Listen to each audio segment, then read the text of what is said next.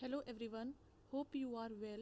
In today's video, I will be sharing 20 important questions on building material specifically related to brick and stones.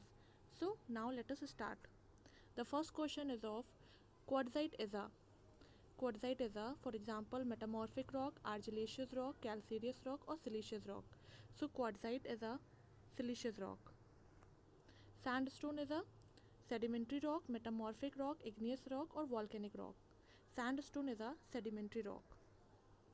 Pick up the hypabyssal rock from the following. Hypabyssal is the category of the igneous rock that is present at the shallow depth. Okay, so the options are granite, dolerite, basalt, and all of the above. So the right answer is dolerite. Gneisses is a igneous, metamorphic, or sedimentary rock. So it is a metamorphic rock and it get converted from granite to gneisses after metamorphism. The rock formed by gradual deposition are called sedimentary rock, igneous rock, metamorphic rock or none of these. The rock formed by the gradual deposition are called sedimentary rock. Good quality stone must be durable, must be free from clay, resist action of acid, all of the above. Answer is all of the above. The rock in which argil or clay predominant are called siliceous rock, argillaceous rock, calcareous rock, or igneous rock? The answer is argillaceous rock. Argillaceous or clay is predominantly present in argillaceous rock.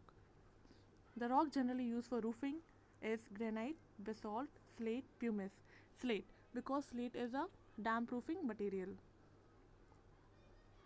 Pick up the plutonic rock from the following granite, dolerite, basalt, all of the above. Granite is a type of the igneous rock that is present at a deep depth and that's why it is known as plutonic or intrusive rock.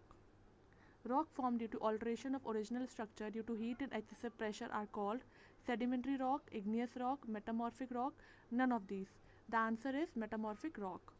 The standard size of masonry brick is 18 centimeter into 8 centimeter into 8 centimeter, 19 centimeter into 9 centimeter into 9 centimeter, 20 centimeter into 10 centimeter into 10 centimeter, 21 centimeter into 11 centimeter into 11 centimeter or none of these.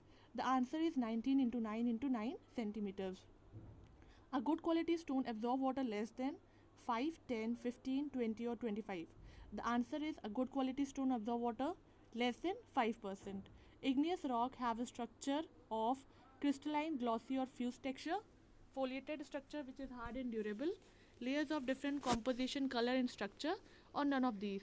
The answer is crystalline, glossy or fused structure. The minimum compressive strength of second class brick should be 75 kg per centimeter square, 90 kg per centimeter square, 100 kg per centimeter square, 120 kg per centimeter square or 150 kg per centimeter square. The answer is 75 kg per centimeter square. For the second class brick and the first class brick, you, uh, you can comment uh, what is the minimum compressive strength of first class brick. The hardest rock is marble, diamond, talc, quartz. So the answer is diamond.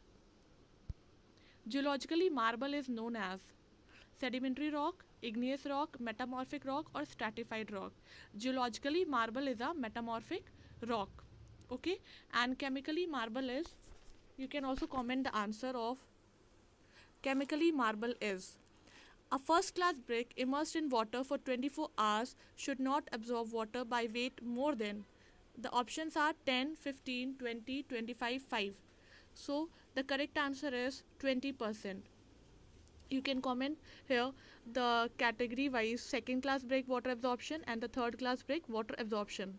A good brick earth should contain above 20 to 30% of alumina, above uh, about 50 to 60% of silica, not more than 5% of lime, about 5 to 6% of oxide of lime, all of the above.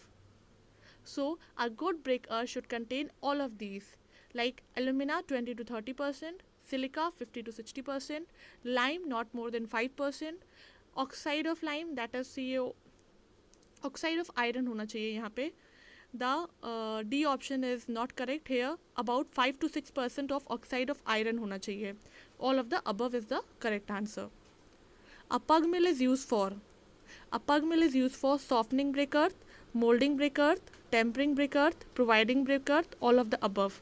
The right answer is tempering of brick earth.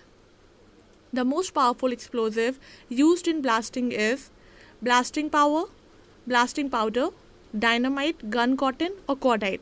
The correct answer is gun cotton. Thank you class.